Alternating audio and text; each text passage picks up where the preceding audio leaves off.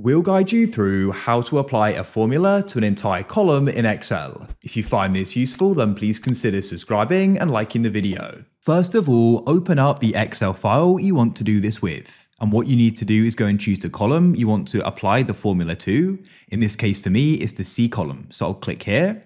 And then what we can do is go and type in the formula. For me, that's multiplying column A by B, which I've now done then what we're going to do is we're going to go and select the cell that we want to go and do this for in the column, hover our cursor in the bottom right till it turns to a cross.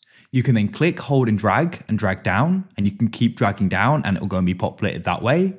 But a quicker way is to go and hover your cursor in the bottom right of the cell till it turns to a cross and double click like so and that'll go and populate it as you can see. Another way you can do it is by clicking the cell the formula is in and then going clicking at the top of the column to select it and you want to come back into the formula bar and you want to hold control and then press enter and that'll go and populate the entire column as well.